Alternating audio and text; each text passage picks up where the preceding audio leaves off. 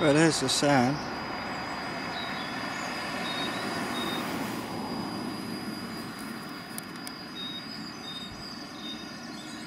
Being transmitted from that building.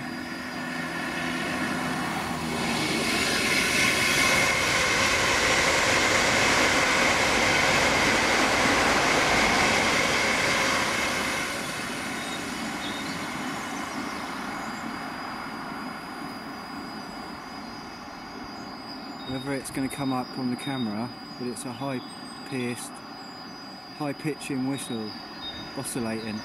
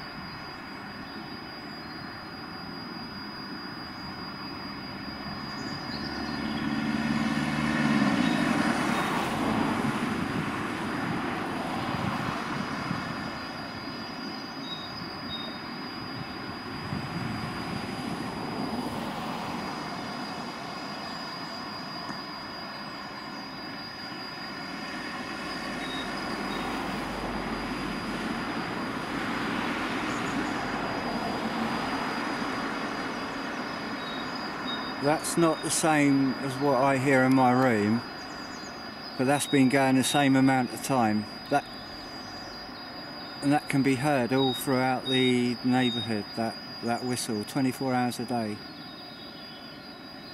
and no one's complained. And if you did complain, you, they need two witnesses that they can deny it.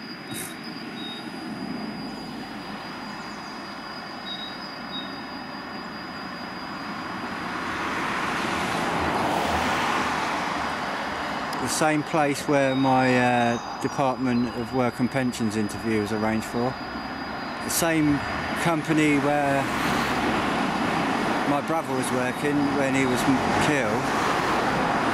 And it's a Freemasonic crescent architectural type designed industrial park. The, the summit, Apollo Rise. Are the people aware of it? More than likely, someone is. And someone must be aware of that sound.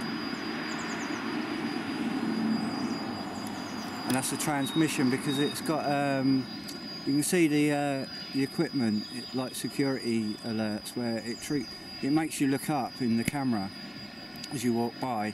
It, it catches you out every time and, and, and, you're not even on the ground, you're across the road about 100 metres away and it, there's always this like look up and you, you look up.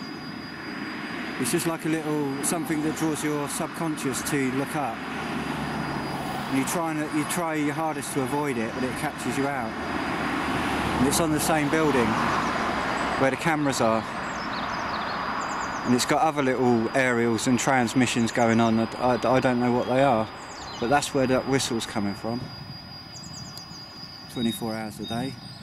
And that's um, a confectionery company. They do sandwiches. There you go.